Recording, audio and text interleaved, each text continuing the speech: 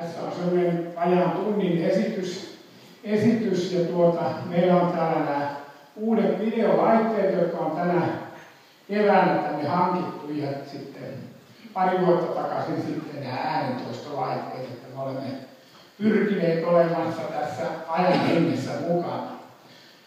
Eli sen esitelmän jälkeen niin tuota, pidetään sitten pieni kahvitauko ja sitten esitetään se pikkupässi filmi, eikö näin ollut, niin tuota, sitten voidaan poikkea tuossa kahvilla ja sitten varmaan vapaa keskustelu ainakin sen esityksen jälkeen ja varmaan jos jotain mielenkiintoista tulee, niin Timo varmaan antaa puheenvuoro tässä välilläkin.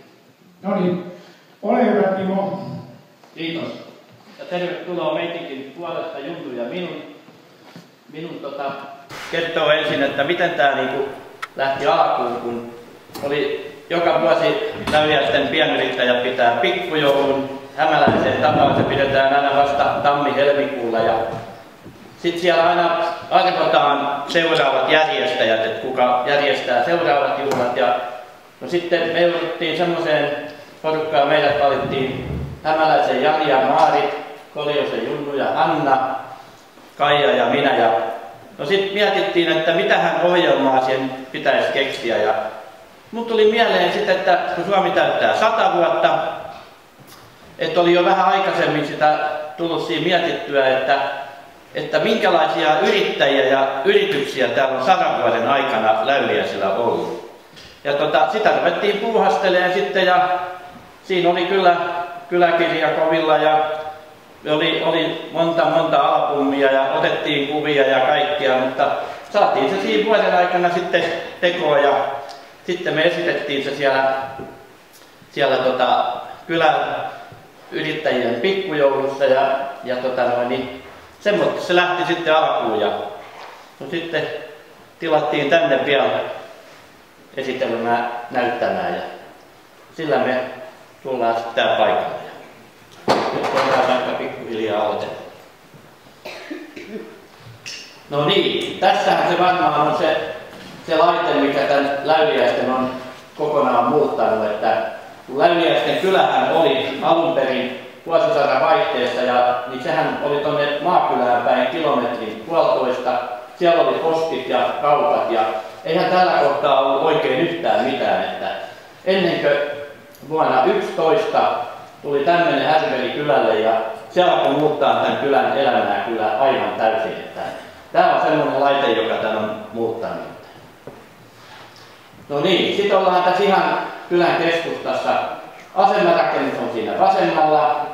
Seuraavana on Selantesin kauppa, joka oli ensimmäinen, joka tuli kylälle 1913. Ja seuraava rakennus on Alhon Eetun mökki siellä.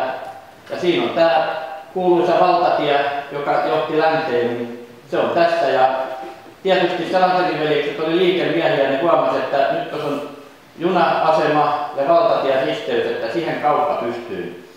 Ja tota, siitä lähti niiden kaupankäynti alkuun. Joo, ja tässä tankataan junaan puuta ja vettä, mikä on tämä paikkahan on vielä olemassa tässä Läyliäisten sivussa. Ja toi oli tuttua puuhaa, kun kotopaikka oli ihan vieressä siinä, niin se oli ihan joka päiväinen. Kyllä tuolla tuli paljon junamiesten kanssa käytyä ja juteltua. Joo, tässä on sitten nykyään pikkusen muuttunut, mutta rakennus on sama. Joo, ja sitten ollaan niin kuin Läviäisten ensimmäisessä yrityksessä ja tämä on tota noin, niin, Oilan tiilitehdas, joka on perustettu 1828.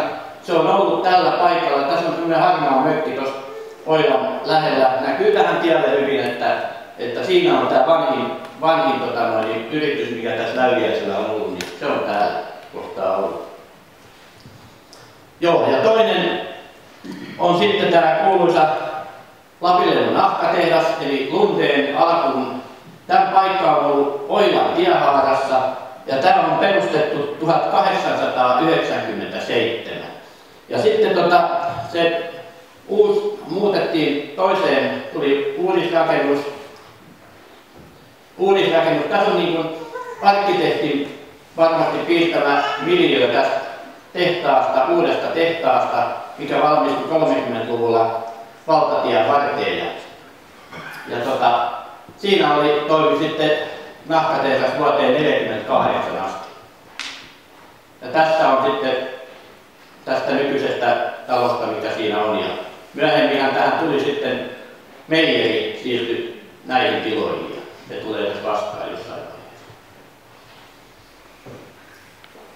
Joo, sitten mennään, mennään Nummerannan sahalle. Nummerannan saha oli siihen aikaan iso saha, työllisti paljon väkeä ja tota, no, niin oli tosi iso työnantaja kyläläisille silloin. Ja sen perustamisvuosi oli hetkinen 1892, että aika vanha on sekin alkujaan ollut. Joo, sitten on Läyliäisten vanhimpia kauppoja, todella yli sata vuotta vanha samalla suulla oleva kauppa. Ja tämän kaupparakennuksen sijainti on Hyvinkään tiehaarassa vastapäätä tätä vanhaa koulua siinä vanhan nesteen rinnalla. Ja samassa talossa toimi Sairion leipomoyritys, joka myöhemmin siirtyi toiselle puolelle tietää uuteen rakennukseen. Tässä on 54 rakennettu Aallon uuskauppa kauppa, ja tämä oli tota noin, niin ihan alkuperäinen tässä. Ja tässä on nykyään sitten tähän tullut vähän lisää, pientä laajennusta on ollut siinäkin. Toimiva yritys ja todella yli sata vuotta. No niin, tässä on semmoinen monta hauskaa nimeä tällä nousevan auringon talo. Tämähän oli vähän matkaa Helsinkiin päin siinä Oilan tiehaarakassa. Ja tämän talon alkuperä on kans, että tässä on ollut kauppa ja leipomo Nylundin omistama. Ihan vuosivaran alussa. Joo, tässä on Selanterin kauppa, kauppakuva toisesta kulmasta, mikä oli ensimmäisessä kuvassa siinä, että siinä on isot polttoainevarastot on heti siinä seinän vieressä. Hevoskuormi on siinä. Joo, ja sitten Selanterin kauppa perustettiin 1913 ja tämä tässä on Läyliäisten osuuskauppa. Tässä on, tämä on perustettu 1915 ja mä luin tuosta semmoista, semmoista vihkosta, jossa mainittiin tämän kaupan alkuvaiheista, että kyllä se siihen aikaan sata vuotta takaperin oli sama juttu kuin nykyäänkin, että jos joku tekee kaupan johonkin, niin pian toiselle puolelle tehdään kiireesti, ehkä pikkusen paremmin. Sama juttu on ollut silloin, silloin että 1900, tämä avattiin 1915, niin 1914 oli jo tukkitalkoon, että saatiin kauppa pystyyn ja Riihimäkeläinen rakennusmies teki tämän tähän. Ja tämän sijainti on, varmaan ei kaikki yhtäkkiä tiedä, mutta tämä on Paronin pihalla tämän paikka. Maantie ja Paronin välissä on tämän kaupan paikka. Siinä tämä on ollut. Joo, sitten mennään tuohon meijerin puolelle.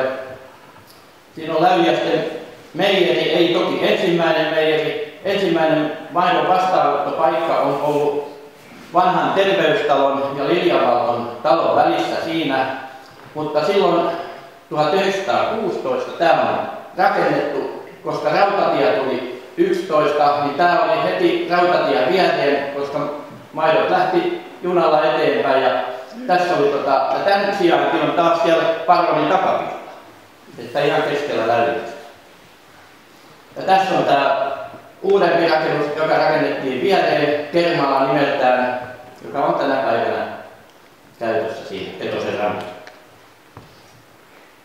No niin, sitten tässä on Läyliäiselle Alhoreinon rakentama ensimmäinen autokorjaamo.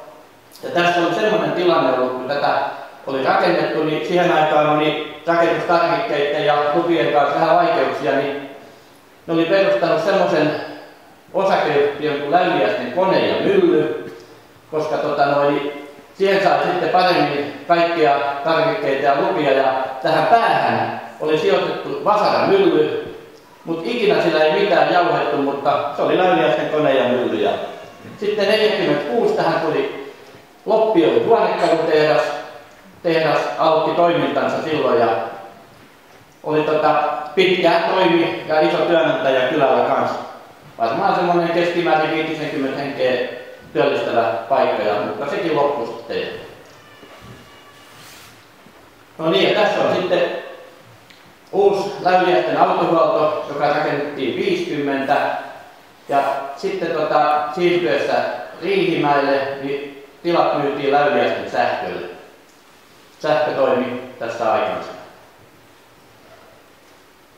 No niin, tässä on sitten oikein varsinainen Läyliäisten mylly. Rakennus moni muistaa sen varmaan, varmaan että tämä oli niin tosissaan niin toimiva mylly, että tämä ei ole mikään paperilla tehty mylly. Minä olin myllärinä siinä aikaa. No niin, oikein, oikein. No niin, tässä on sitten liiketalo, säästöpankki liiketalo, joka valmistui Läyliäisiin ja tässä toimi säästöpankki, valinta Aalto ja posti. No niin, tässä on vielä nykyään oleva rakennus pystyssä ja tässä on oikein semmoinen, voi sanoa, että oikein monitoimitalo, koska tota, aikanaan tässä oli yrityksiä Vanhakalle, Teurasti ja Aino ja tytär Kaisu pitivät kahvilaa ja majataloa, majataloa tuolla ylhäällä, matkustajakotia ja poika Erkki jo taksia. Neljä yritystä oli tässä talossa toimia. Majatalon nimi oli Sirkka. No niin, oikein, oikein. Kaikkia ei, niin kuin tosissaan vielä täytyy mainita, että kaikkia yrityksiä varmaan on jotain jäänyt pois, kaikkia ei ole millään löydetty, vaikka niitä on kovasti haettu, mutta ja sitten samaten noiden vuosilukujen kanssa, että jos niitä olisi ruvennut oikein tarkasti menee läpi, niin tämä kestäisi kaksi päivää. Se on sellainen katsaus, yrityskatsaus. Joo, ja tässä on Leo Kanervan talo. Tässä talossa toimi taksi, pieni autokorjaamo ja pieni varaosaliike, jossa myytiin polkupyörämosia ja mopomusia. No sitten on Läyliäisten osuuskassa, toimitalo. Toimintahan alkoi jo 25 vuonna, mutta tämä tota, tuli 30-luvulla sitten tämä osuuskassan uusi talo. No sitten on Leino Oyn kuivuri, rakennus valmistui 54 ja varmasti silloin luulen, että Leppäsen Oivan, kun haki rakennuspaikkaa tälle kuivurirakennukselle, niin varmasti vaikutti rautatien läheisyys kanssa, että oli, tuli lähelle lävyjästä. No sitten tässä on elokuvateatteri, joka on Läyliäisellä perustettu ja Läyliäläiset perustanut ja viimeksi toimi siinä Uasukainen, tai omisti, piti elokuvia, sitten se siirtyi Leinon omistukseen, Leino piti siinä kauppaa. No niin, tässä on sitten Läyliäisten keskustasta kaupparakennus tuolla takana. Me Virtanen rakensi 30-luvulla siihen kaupan, mutta se kauppa ei oikein saanut tulta alleen, vaan ne myi sen sitten tota, no niin, Ahjolle, ja Ahjo alkoi pitää siinä liike, liikettä sitten. Tässä on sitten toisella puolella talon nykyään. No niin, tässä on sitten myös sellainen talo tässä Saunakadulla. Tämä oli tota, no, niin, niin, täytyy pikkusen katsoa, kun välillä ei kaikkia muista. Tästä oli ensin Maija Vottosen kampaamo, kampaamo ja Vottosen vaatetusliike. Ja viimeksi oli Lehtisen kemikaalioliike ja parturi. Tässä on Ruudun, ei, eli Kaipo Oylle ensin rakennettu halli. Siinä vihanneksia pakattiin vuosikausia ja sitten tota, se siirtyi kruunuperunalle ja sitten kun kruunuperuna loppui, siirtyi Mustajoen omistukseen ja sen jälkeen siinä oli Saupartti ja Koski. Ja kirkko todellakin vielä vähän. Ja sitten kun on Hyvinkään tiehaarassa, tässä on vanha koulu, koulu, jossa toimi aikanaan Kallisen romuliike ja puusepän liike. Ja siinä puusepän liikkeessä tehtiin pääosin puisia televisiopuolella. Tässä on maakylässä Kormusaaren Piikan kauppa, joka on siinä ennen Patojan tienesteyttä vasemmalla ja monelle tuttu paikka. Patojan tiehaarassa on kaupparakennus, jonka Lahtisen poika rakensi, piti kauppaa ja sitten jälkeenpäin se oli Leinon sivuliikkeenä. Sitten ollaan Tavolan kulmalla Parolan ilmastoin, ilma, ja tota, tässä on nykyään poika pitää tietokone, mikä oli? Tietokoneen kierrätyspaikkaa, että kierrättää tietokoneita, että semmoiset toiminnat on täällä. Joo, sitten ollaan Talolan kulmalla ja Talolan Mirjan kauppa, joka on monelle tuttu paikka varmasti. Sitten on keskellä Läyliäistä räätäli Kanervan talo. Sitten tässä oli tämmöinen Korhomaan Ellin talo ja Elli piti siinä aikoinaan kahvilaa, kukkakauppaa ja lääkekauppaa. Tässä on Valkamaan puusepäliike. Vihtori ja Jouko Valkama pitivät puusepäliikettä ajat tässä rakennuksessa. Sitten tässä on Penttilä, joka on tuossa keskellä kylää. Tässäkin talossa oli monta lajia toimintaa. Siinä oli, siinä oli tota noin, niin, pilketehdas, oli kuorma- ja taksiautoilua, perunakauppaa, kahvila, ruokala, parturi ja huonekaluliike Kuusi linna aikanaan. No sitten on Läyliäisten keskustassa tämä vanha Parviaisen leipomo, mikä on tässä rivitalojen paikalla suurin piirtein ja talossa oli paljon vielä vuokra-asuntoja ja leipomo ja sitten oli pieni myymälä, paikallismyymälä siinä, mistä sai kyläläiset hakea tuoretta leipää. Tässä on reunalla terveystalo, terveystalo, joka on hävitetty. Ja tässä oli vielä semmoinen tarina tällä talolla, että tuossa tuota kyläkirjaa kun selailtiin ja katseltiin, siellä oli maininta, että kun punainen risti rakensi, rakensi näitä terveystaloja, niin Läyliäinen valittiin ensimmäiseksi paikaksi sen takia, koska se oli kaikista vaurain ja vilkkain kylä siihen aikaan. Ja no vähän, vähän tota, no, niin keskusteltiin siitä, kun mäkin kuulin, että Ruotsin punainen risti olisi rahoittanut tämän, mutta tuossa kyläkirjassa ei taas sanottu kyllä niin, mutta Junnu oli käynyt kuvaamassa sieltä sisältä tämmöisen, tämmöisen taulun, joka taas todistaa sitä, että kyllä siinä ruotsalaiset on vähän mukana. No sitten tässä on tämmöinen äh, tapahtuma, joka oli Läyliäisellä muutamia vuosia takaperin.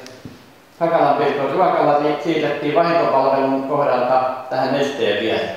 Aikamoinen siirto, jonka Mustaja Jallu teki siinä, että se oli iso tapahtuma kylällä.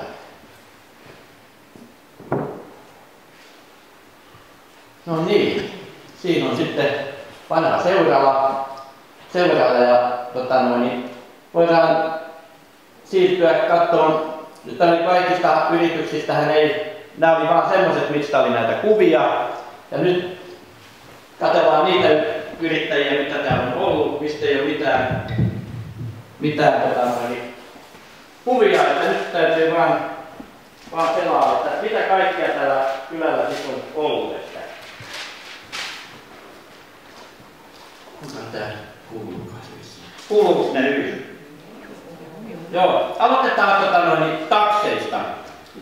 Steenpakka, Myllypakka, Haapanen Niilo, Alavo Onni, Pentti ja Paavo Ketonen, Peltonen Veijo, Säilä Erkki, Haakvist Matti, Kanerva Leo, Mainala Vilho, Lankinen Veikko, Heino Urho, Ekström Eino, Ekström Seppo, Pesonen Antero. Sitten putki urakointia oli myöskin kylällä, Leppäsen Väinö. Muistan itsekin hyvin, kun Väinöllä oli IFA auto ja putkivehkeet oli IFAn takalaatikossa, millä se kävi urakoilla putkihommia. Kaivikkonen urakointia oli Olavi Enqvist ja Arno Enqvist. Sitten maakylässä oli teurastamoita. Ville Hiatanen, Kalle Hiatanen ja Urho Hei. Ompelimot, Tekla Petrelli, Katri Kivinen, Hilma Tammilehto, Linda Tuomi ja yksi linja-autoliikennöitsijä oli kans Oiva Uotila vuosina 25-27, mutta se loppui tosissaan siihen, kun auto paloi ja jäljelle jäi maata. Ambulanssi Esko Levonius aloitti vuonna 1963. Sähköurankoitia oli kylällä Erkki Ranta plus polkupyörä Korjaamo ja Aarneranta. Sitten mennään tuohon kuorma-autopuolelle. Aarne Halkivaha, Eino Enqvist, Mauno Manninen, Eino Patova, Väinö Laurila, Pentti ja Paavo Ketonen, Veijo Peltonen, Niilo Haapanen, Eino Aaltonen, Skyttä, Reino Alho, Toivo Uotila, Urho Heino, Väinö Rannanmaa, Tauno ja Matti Takamaa, Harri Marttikainen, Toivo Koskela, Veijo Mustajoki, Esko Mustajoki, Toivo Salminen, Markku Vekkilä, Matti Suoniemi, veljekset Kortista.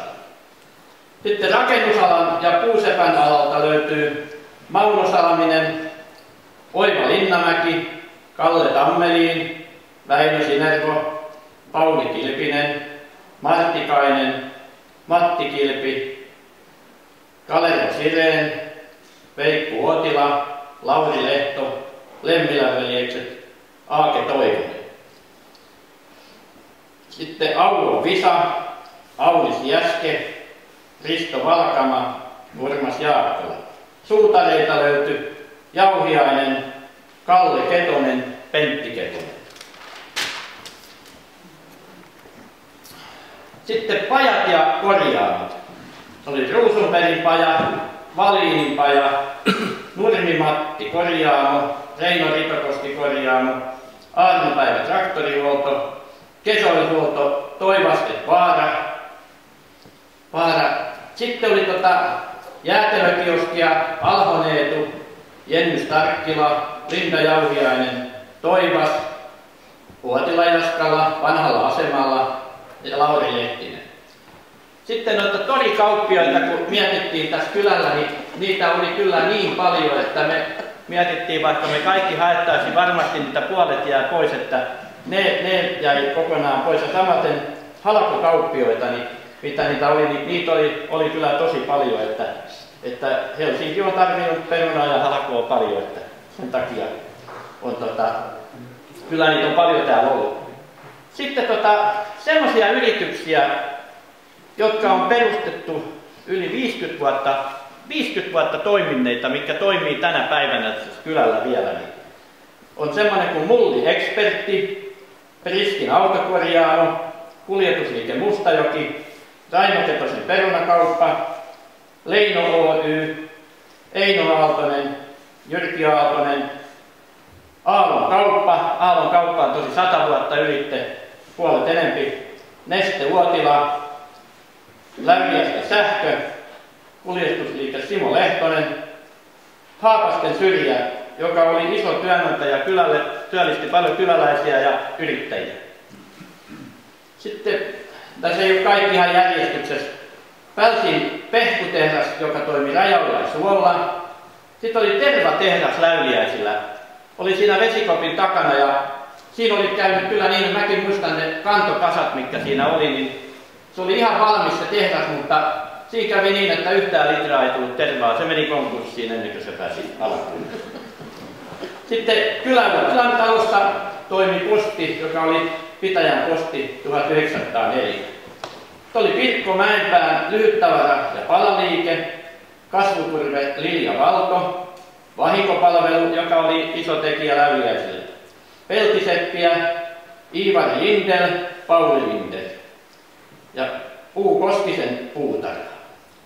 Sitten oli kylällä vielä kauppoja 60-luvulla, niin tässä oli neljä, viisi, viisi kauppaa ja neljä myymäläautoa ja kaikki kannatti siihen aikaan, ei kukaan puhunut, että ei kannata. Ja sitten tietysti kun oli puutavarasta, oli menekkiä paljon rakennettiin ja muuta, niin tuota sirkkelisahoja oli tässä kylän ympäristössä aika paljon näin pieneen kylään. Ja mitä niitä nyt löytyy, ei varmaan kaikki ole ihan tästä, mutta tässä on kumminkin Rekolassa,